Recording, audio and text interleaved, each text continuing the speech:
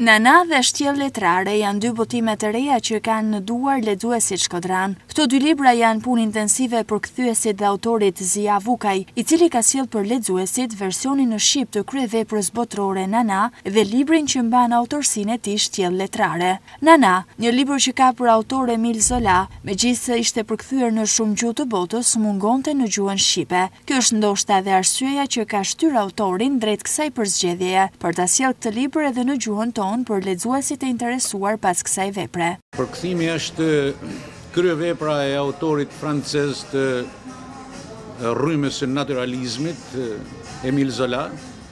Është romani Nana, i cili është, po themi ne, perla, është diamanti ma shkëlqimtar në gjithë gjerdanin e veprave të Emil Zolas. Kjo vepër e cila nuk është përkthy ndonjëherë në gjuhën shqipe, mu m'ka tërhek shumë sepse ka qenë në fokusin e gjithë kinematografisë botërore dhe ka Dhjetra e dhjetra versione kinematografike si vepër, pra. Ndryshe nga Nana, që është një vepër e përkthyer, Shtjellë Letrare është një vepër e autorit Zija Vukaj, i cili jep mendimin dhe vlerësimin e tij për veprat dhe autorë të ndryshëm, duke mos harruar këtu figurën, të cilën ai e vlerëson më shumë ndër të tjera Migjenin. Është një punë studimore, është një përmbledhje me ese.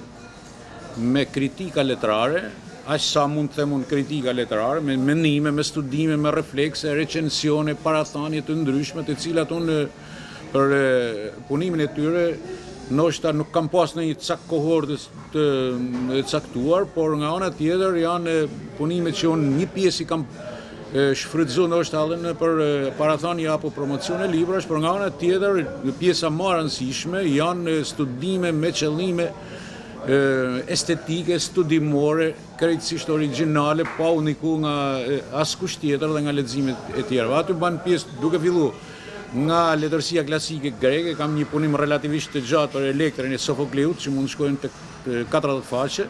Pastaj kam një mori esesh për Migjenin.